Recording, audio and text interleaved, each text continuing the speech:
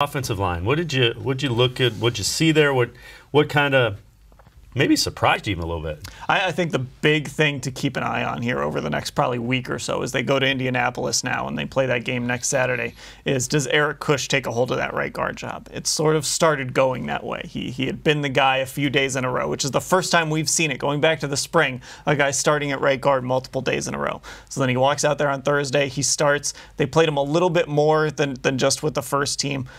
But he's going to have an opportunity now over these next couple practices here, going to Indianapolis for the joint practices, to say, This is my job. Nobody's going to take it. And it's a little concerning that not only was Austin Corbett playing in the fourth quarter last night, he was playing center. And I didn't I didn't see him at right guard. Maybe I missed a rep or two at right guard, but it looked like he played center all night Thursday night. That's a problem.